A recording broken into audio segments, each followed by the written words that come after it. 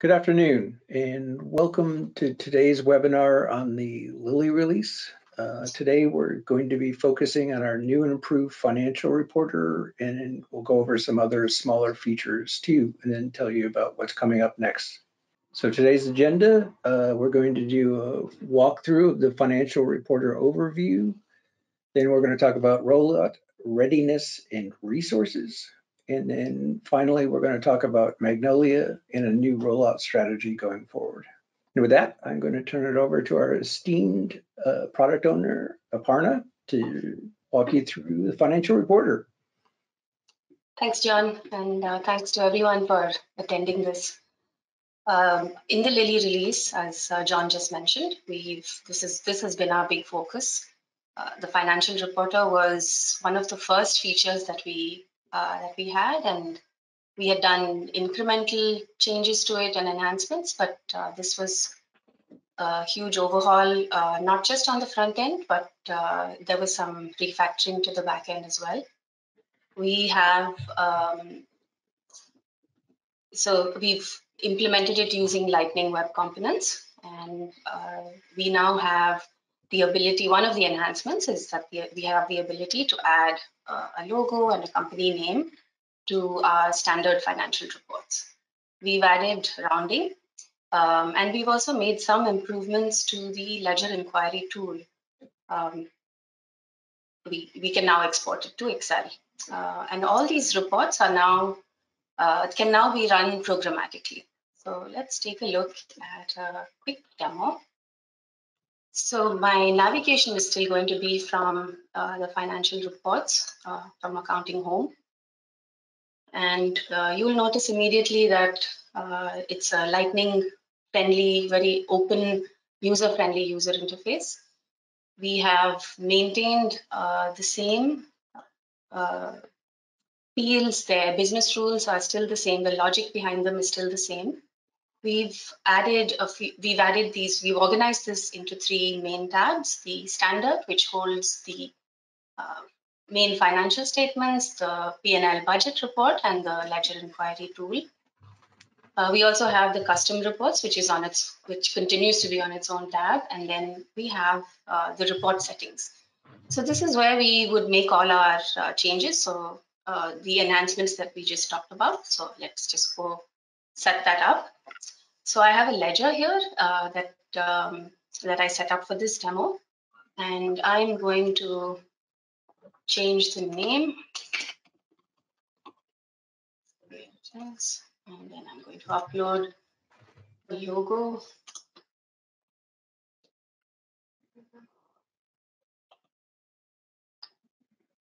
And give me a preview. Uh, this toggle here uh, is essentially for multi-ledger clients who, who want to choose that same setting on different ledgers. Um, below this is the ability to change the accounting period column header on the financial reports. So this, uh, you will be familiar with this uh, convention, uh, the year and then month. We also now have uh, the end of the month and then a month year format. So I'll choose this and I'll leave the rounding. This is the other uh, setting that we can make. Um, we have no rounding, it's the default. We also have whole amounts and round to thousands. I'll leave this here and we'll come back and look at it. So let's hit save. And let's go take a look at the profit and loss report. Um, for the, the UI changes here, uh, like I said, the rules behind these fields and what populates, uh, what defaults populate are still the same, including the uh, subtype and the suppress uh, zero amounts uh, checkboxes. The GL variable fields still uh, still respect the translation workbench, so you will see that the name has changed here. The two new fields that we've added are the subtitle, which you can which you can enter at runtime, and uh, this is the rounding field, which would default to whatever value you had set on the report settings page. So, um, oh, and this is also familiar. It's the same uh, report results uh, that we had earlier. Uh, the one change that we've made is uh, to model this after the Salesforce list view. So I'd be able to, you know, select multiple. Like uh, there are 25 on a page, and I can select multiple and delete them. For now, it's just the delete action, but we are hoping that we'll um, have more uh, actions in the future. So let's run a report. I'm just going to choose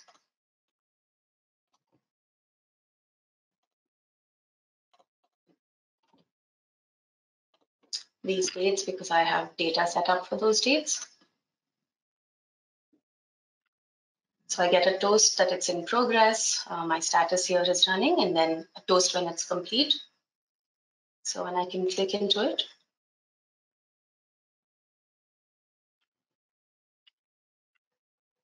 You'll see immediately that the logo is uh, what I chose earlier and my uh, company name is also shown here the uh, in the earlier financial reports, we had uh, some information in the footer of the report.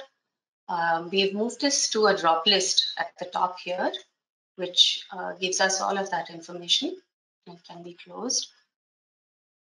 Uh, I, the report generates by default uh, with these main subtotals and the main uh, total information in this collapsed format, and I can click on expand all to look at the details uh, and collapse all as well works in the reverse.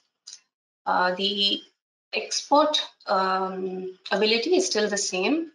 Uh, Excel, we've not made any changes in this release to the Excel uh, export. The PDF uh, uh, also supports the logo and um, company name. So let's just do that.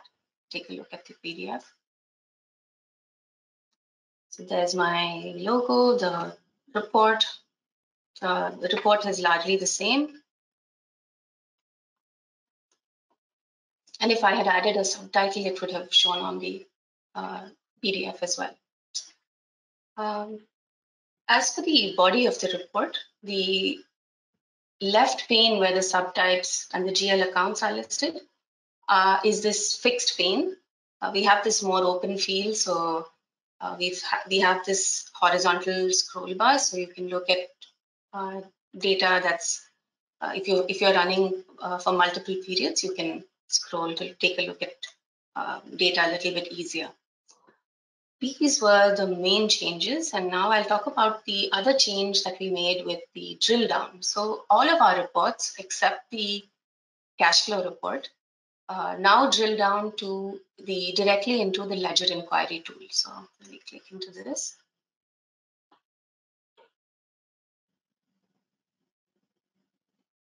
And I'll scroll down to look at all my transactions.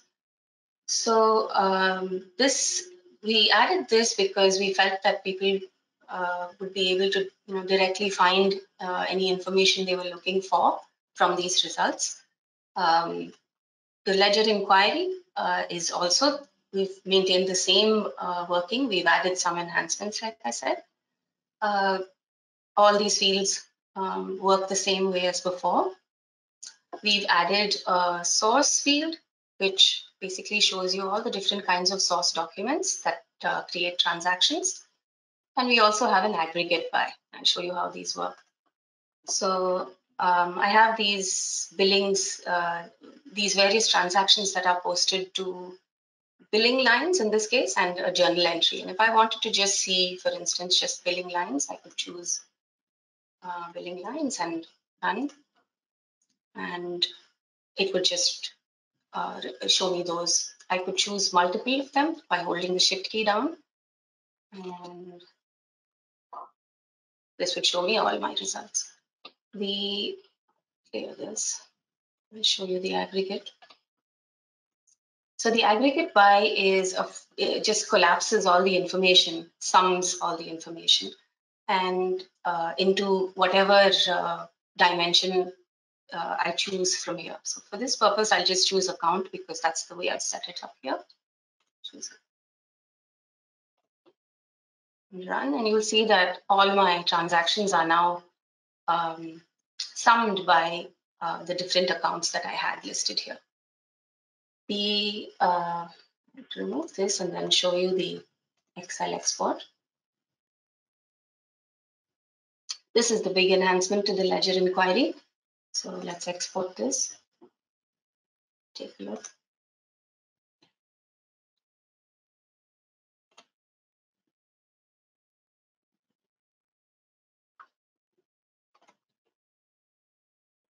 So all my results are shown here at the top. And uh, we also added the report statistics, uh, the, which is in the middle. And we added the all the criteria that was used to run that, uh, that particular set of results. So this is the ledger inquiry. Right. And um, let's go back to the uh, main reports tab and look at the other. Let's look at the PNL budget report. Actually, no, I forgot to show you about the rounding.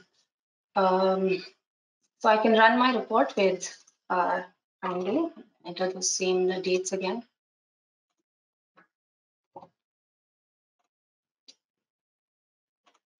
Choose whole amounts and run this.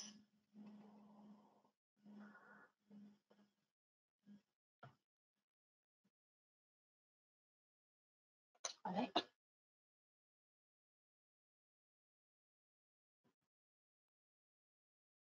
And now you'll see that the uh, data is shown and shown without the decimal places. Uh, we added this to notate that the you know the, rounding has been changed. So this shows up on the PDF as well as on the Excel uh, exports. So this is the rounding. Um, let's go back and look at the other reports really quick. PNL budget report.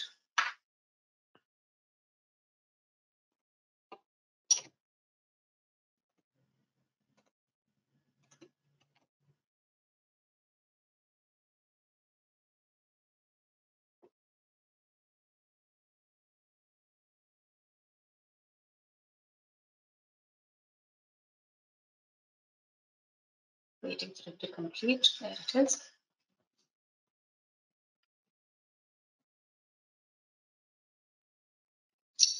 And here's my uh, report with uh, data.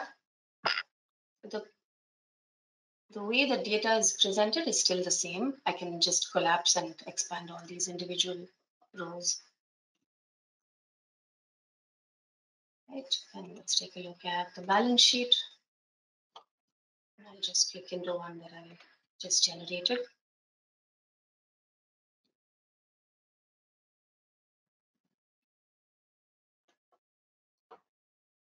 And here's that data and I can collapse it. Expand and all the same functionality as before.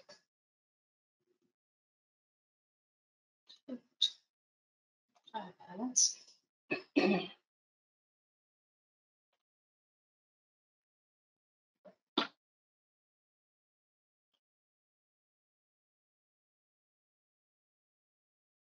Same format. And then the cash flow statement. So uh, if you remember, I said that the cash flow statement will continue to have um, the drill down into the old financial report transactions page. So that should still work. This page. And that's because we currently don't support uh, cash flow categories on the ledger inquiry report. Um, here we are. Now let's take a look at the custom reports. So we've made some changes here. We've uh, made it easy for you to navigate to the financial statement definitions list view. There's a couple of ways. This will take you straight to the list view, um, as well as the report name will take you directly into that uh, reports definition. So I'll just click into that and show you.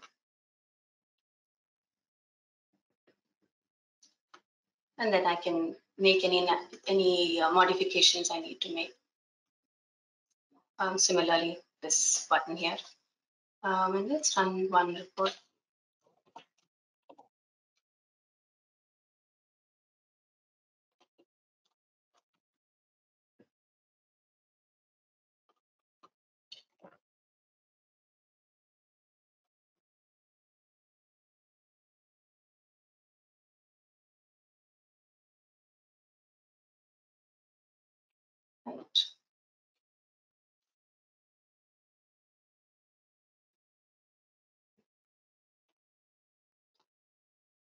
And the way this report is set up, it has uh, the subtypes, so they can all be collapsed and expanded.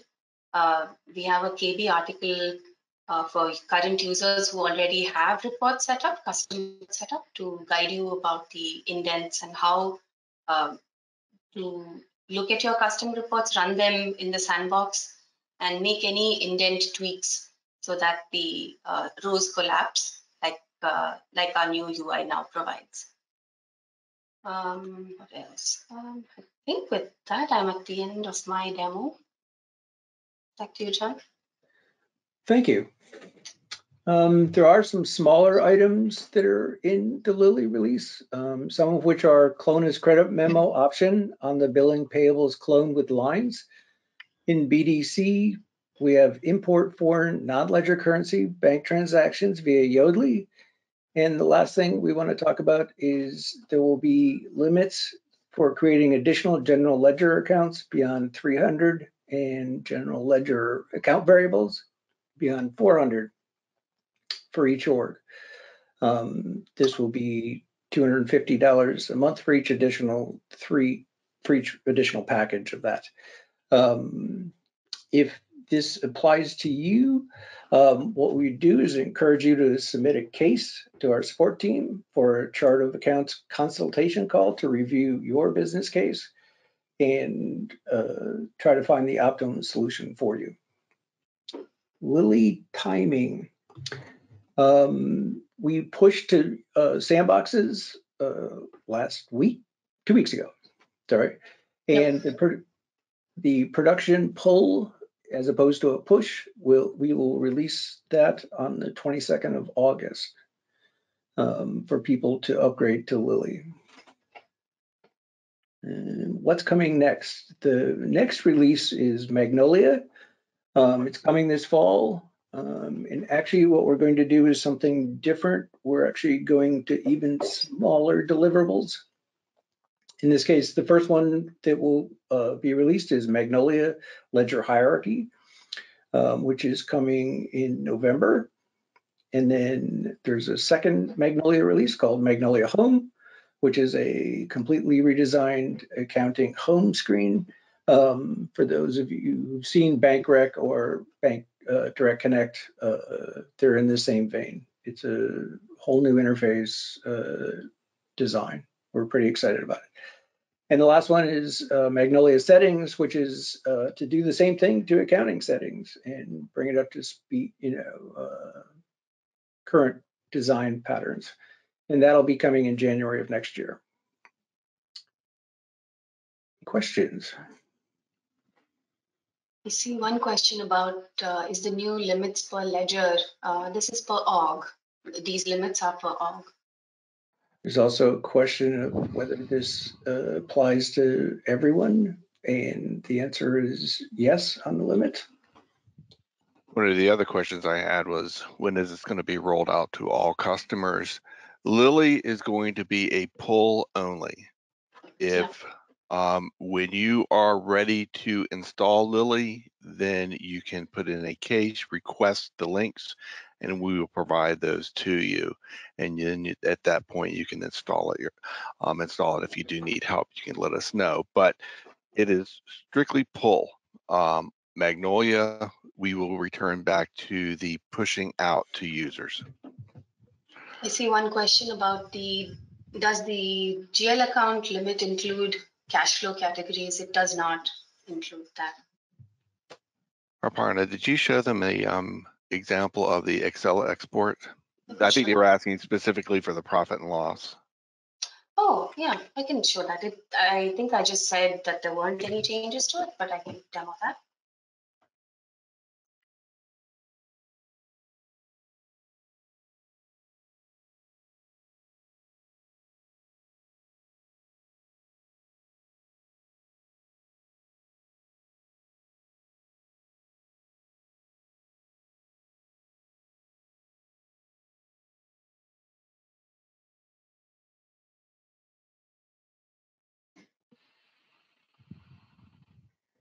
So we haven't made a change other than adding this one rounding information here to the Excel. There's a question here on the limits in Lily. What happens if we currently have more than 400 GLAVs? Um, It'll work just as it does now uh, until you try to create another one. And then it'll prompt you to contact us to have a further discussion via case. John, James, did we talk about what happens if we currently have more than a certain number of GLAVs? As John just said, when there is the, when you need to add a new GLAV, you will get a message to please contact the support team, at which time we'll set up a call so that we can look at and discuss what's happening within the org. And from there, we will typically um, refer you to our account managers to work through what exactly needs to be done for your org in order to enable you to add more. There's a question, is the upgrade optional? As James said earlier, this is going to be a pull. So the answer is yes. Um, However, once Magnolia gets released, that will be a push, which will not be optional. I think, Aparna, you did answer that the GL account limits do not include the cash flows. Correct, yes. just to reemphasize that. Mhm. Um, how does the poll work? You send me, put in a case that I would like to receive the Lily upgrade and we will send you the links and you can load it. Um, and instructions on how to install that. Um, if there are any issues or questions, you can certainly can also ask the support staff for their help. There's a question about what the fee is per month. So that is uh, 250 a month for this additional set of 300 GL accounts and 400 labs. The limits include any and all accounts. It's um, whether GL accounts or GLAVs, if even if they're non-active, um, it's all are included. There's a question here, will you have to have Lily in order to get Magnolia? And the answer to that is no. Lily will be included in Magnolia. There's a question about can we add more than one GL account in the ledger inquiry? Uh, at the moment, the way we have it is you run one run one GL account, uh, or you can s- specify none. So,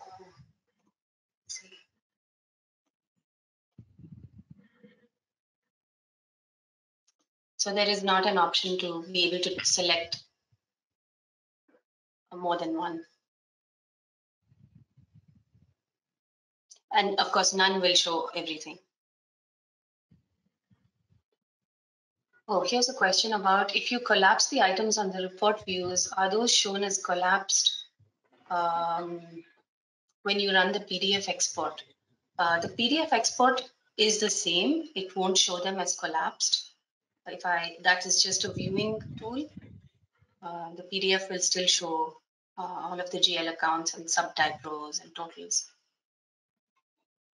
When the files are exported to Excel, correct me if I'm wrong, Aparna, but the formulas are not exported, correct? Not yet, not yet. Um, we have, we have only have one sum. I think we have a sum on the Excel. Let me Try the ledger inquiry again. We are trying to do this in a phased approach for the other reports. We've, we have one sum on the budget inquiry. Let me just go there.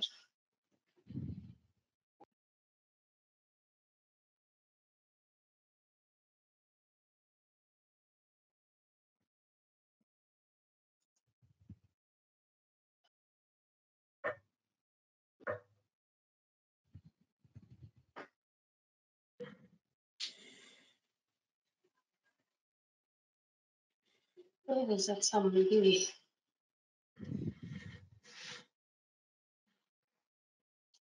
Hmm. No, I'm mistaken. I think we were in discussions about adding this for the other reports, but we haven't yet. I don't see a sum here.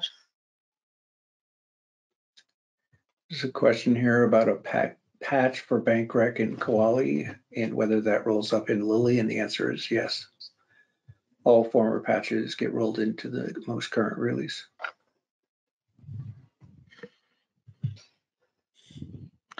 Uh, what's another question about cash flows? In order to run a cash flow report, you must have cash flow activated in your org.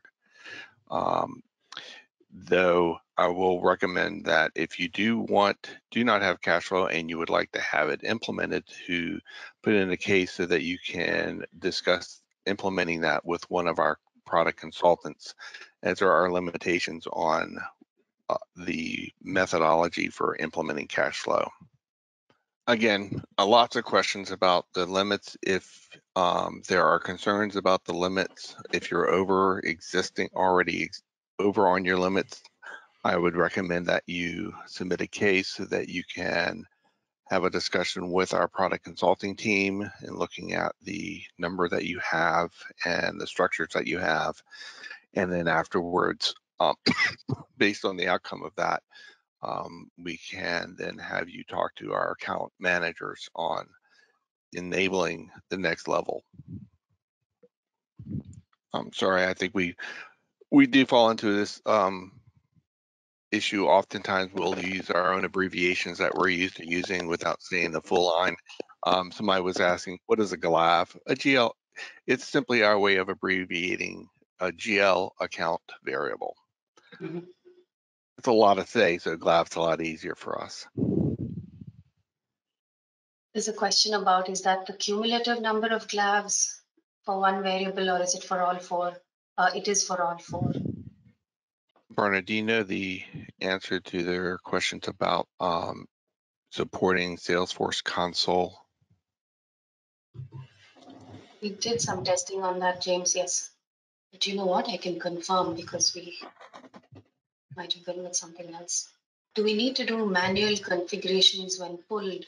Um, no. Uh, for the financial reporter, uh, there are no any. There are no configurations that need to be done. Uh, and if there are uh, permission sets and so on, I think those are uh, outlined in detail in the knowledge base article, right, James? Yeah, so I was actually going to say. Um, a number of different questions are that I've been going through here are answered and shown in our knowledge base articles. We have tried to be very comprehensive in our knowledge base for the new reporting, financial reporting, with a combination of both um, instructions and um, screen prints to help you understand and how to implement them. GL accounts will apply to Magnolia. Um, so when that's pushed, these limits will apply to everyone. Is there an additional cost for each ledger? Uh, there is a cost for the for additional transaction ledgers. Budget ledgers are uh, there is uh, no cost for the budget ledgers. There was a question about the credit memo cloning in the billings and payables. That's part of Lily. Um, so if you implement Lily, those those are available to you. Um, any additional fees or things such as that, those are associated strictly with the general ledger account and the GLAV limits. Um, there's a question about can we customize uh, what columns appear on the ledger inquiry report? Uh, the at the moment the answer is no. And I'm believe we answered this once, but I've seen it a couple of times. Um, for the GLAVs, it's the total number of GLAVs, period. Where it's one, two, three, and four. Add them all together, and that's the total available that you have, and that's needs to fit within the limit. I see that someone is receiving an error on the ledger inquiry report. Uh, is the correct way to fight, to submit a case, James? Yes, if you were are definitely if in your sandbox and you're doing some testing and you come across something that is giving you an error message or does not appear to be working correctly, please submit a case to us and that way one of the product consultants can help you with that. Uh, we have a product suggestion for adding formulas. Uh, we've definitely made a note of this. The right now the P and L is uh, you can only enter one GLAV at a time, correct? You cannot put in for Oh, if you You can can only multiple. Oh, uh, yes, yes, of each of one type, yes. right you can only select one at a time. You cannot have a GLAV. You can't pick three out of five GLAVs ones. Not at the moment, no. There was a question about can we add additional fields to the budget inquiry reports? Um, not at this time. What I would recommend is that if you do have a product enhancement that you are looking for, is again, submit a case, put that in there, and then we can pass that on to our product development team for consideration. Wanted to point out there's, go ahead, go ahead. Go ahead. No, there right. was a question about were there any improvements to the creation of the custom report writer? Uh, the way we set up the reports is still the same, but because we changed uh, some of the definitions of, uh, you know, how these uh, how these rows show with bolded, uh, you know, bolded font and larger size and so on. Um, I would encourage you to look at the KB article, which outlines exactly how you may not need to tweak your custom reports, but if there's anything, then you can test it in Sandbox. Um, one, there's been a number of questions about the clone with lines and um, whether or not they can be updated. The clone with lines is basically a option that you may choose. You can always do what we've done before, which is to clone the billing, for example, and then go in and use the mass ed, edit found to make what it what you need to be minus our credit.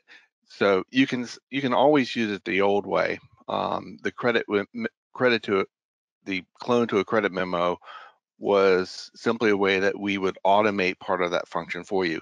And even after you've done that, you can still edit the values to adjust them to what you need.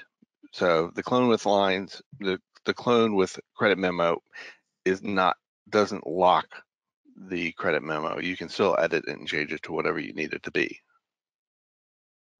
So another re- related question, uh, is it only available, is the credit memo cloning to billings and payables only available with an additional fee? And there is no additional fee for that. It's part of the financial suite package. We're coming up on 2:45. We probably have time for one more question. And I believe one of those was, is there a way to make the standard financial reports aggregate to a custom object? And that is not part of our current reporting functions at this time.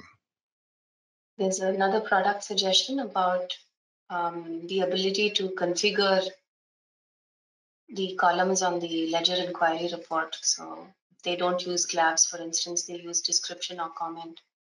We'll Yeah. take this suggestion and definitely consider it. Exactly. And time cards and re- expense reports, we made no UI changes to those, did we? No, not recently. No. Um, it was simply a matter of the, the export to Excel right now, there is no formatting included in that. Um, if you need, if you would like certain fields to be bolded or not, that you would have to do that in Excel yourself. I would like to thank everyone for coming out to our webinar this afternoon. Um, We'll be following up with communications about the release of Lily and uh, more with Magnolia as time goes by in the fall. Thank you again and Thank you. have a good uh, rest of your day.